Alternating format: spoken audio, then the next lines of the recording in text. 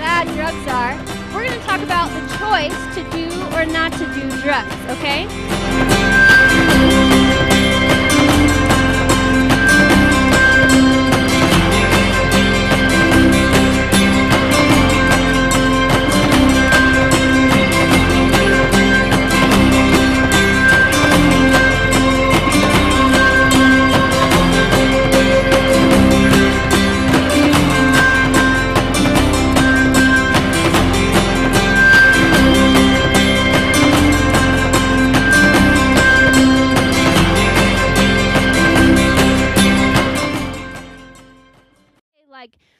It, it starts with one tiny choice.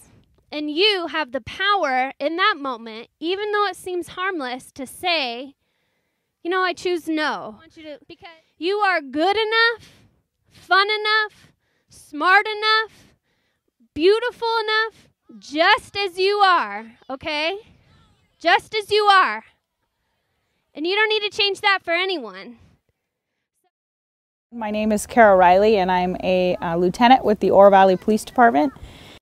What I uh, will tell you over the last four to five years, the Oro Valley Police Department has partnered up with the Kyle Franks Foundation for the Drug Awareness Day uh, in the park, where we bring in all fifth graders through the Amphitheater School District into our community.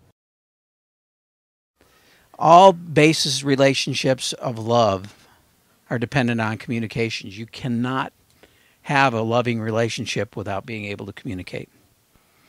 So that's the most important thing.